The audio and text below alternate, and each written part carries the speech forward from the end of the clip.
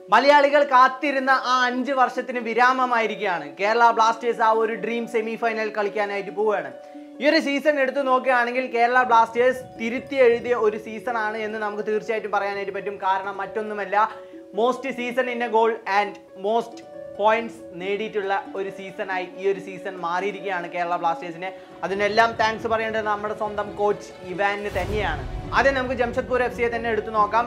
ഈ ഒരു സീസണിലാണ് അവർ ആദ്യമായി സെമി ഫൈനൽ കളിക്കാനായിട്ട് പോകുന്നത്. അതിന്റെ ആവേശം ആ ഒരു ടീമിൽ അതിന്റെ ഉദാഹരണം തന്നെയാണ് ആ ഒരു ലീഗ് ജേതാക്കൾ എന്ന് പറയുന്ന ആ ഒരു ഷീൽഡ് കരസ്ഥമാക്കുക എന്ന് പറയുന്നത്. ഈ ഒരു സെമി ഫൈനലിൽ ആവേശം എന്ന് പറയുന്നത് ഇരു ടീമുകൾക്കും അവരുടെ ആ ഒരു കാത്തിരിപ്പ് തന്നെയാണ്.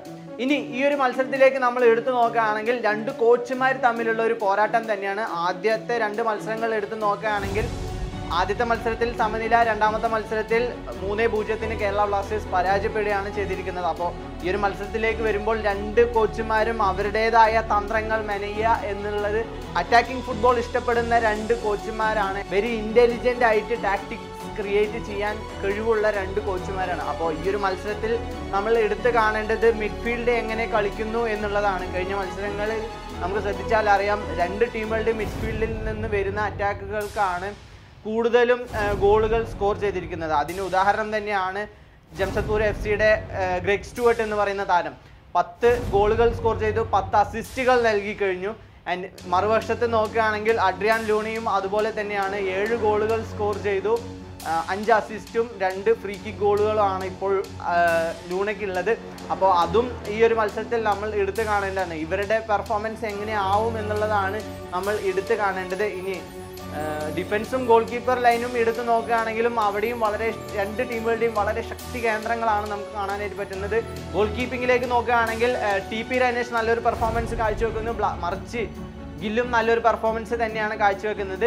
ഇനി ഡിഫൻസിലേക്ക് നോക്കുകയാണെങ്കിൽ ഉരുക്കു മനുഷ്യന്മാർ എന്ന് പറയുന്നത് ഇവർ രണ്ടുപേരും തന്നെയാണ്. കാരണം പീറ്റർ ഹാർട്ട്ലിയും അതുപോലെ തന്നെ ലെസ്കോവിച്ചും രണ്ടുപേരും നല്ല രീതിയിൽ തന്നെ ഡിഫൻസ് ലൈനിൽ കോമ്പാക്റ്റ് ആക്കി നിർത്തുന്നുണ്ട്.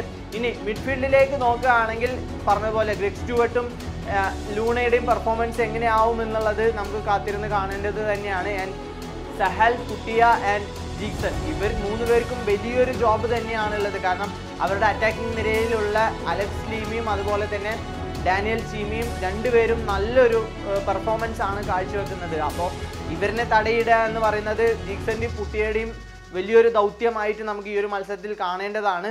അപ്പോൾ ഇത്രയും കാര്യങ്ങൾ നമ്മൾ എടുത്തു നോക്കുന്നതിലും ചെറിയൊരു കാര്യം സൂചിപ്പിക്കാനുള്ളത് കേരള ബ്ലാസ്റ്റേഴ്സിൽ നിന്ന് പോയ ഋത്വിക് ദാസ് ഏത് സമയത്ത് വേണമെങ്കിലും സബ്സ്റ്റിറ്റ്യൂട്ട് ആയിക്കൊണ്ടോ ഇല്ലെങ്കിൽ ലൈനപ്പിലോ വന്നുകൊണ്ട് അപകടങ്ങൾ സൃഷ്ടിക്കാൻ വളരെ ചാൻസ് കൂടുതലാണ് ജംഷഡ്പൂരിന് വേണ്ടിയിട്ടുള്ള നല്ല മികച്ച ഒരു പെർഫോമൻസ് ആണ് ഇപ്പോൾ ഋത്വിക് ദാസ് കാഴ്ചവെക്കുന്നത്. അപ്പോൾ തീർച്ചയായിട്ടും അത് നമ്മൾ ഭയക്കേണ്ടത് തന്നെയാണ്. എന്നാലും ഈ ഒരു മത്സരത്തിലേക്ക് കടക്കുമ്പോൾ ഇരു ടീമുകളും നല്ലൊരു അറ്റാക്കിംഗ് ഫുട്ബോൾ തന്നെ കാഴ്ചവെക്കും. ഒരു നല്ലൊരു ഗെയിം നമുക്ക് കാണാൻ പറ്റും എന്നുള്ളത്. എന്തായാലും ഈ ഒരു മത്സരത്തിന്റെ ഗോൾ പ്രഡിക്ഷൻ ഞാൻ പറയുന്നത് ഒന്നേ ഒന്നിന് ഡ്രോ ആവാനുള്ള ചാൻസ് ആണ് ഞാൻ കാണുന്നത്.